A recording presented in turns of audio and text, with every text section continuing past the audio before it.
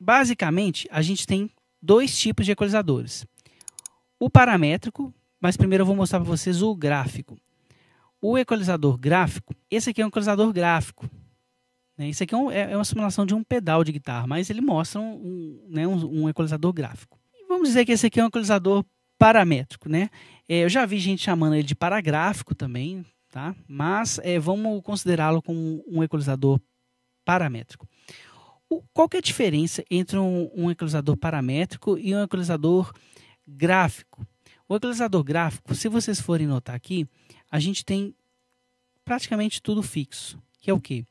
ban as bandas de frequências fixas, ou seja, eu não consigo escolher qual frequência que eu vou mexer. Ele está aqui, ó, esse aqui tem fixo, 100 Hz, 370, 800, 2K e 3.25. Essas são as bandas fixas desse equalizador.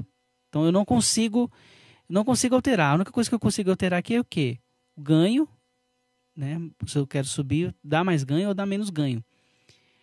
Diferentemente do paramétrico, a gente tem praticamente controle absoluto do que a gente está mexendo. Então a gente consegue alterar frequência, a gente consegue alterar é, a curva, o ganho, enfim.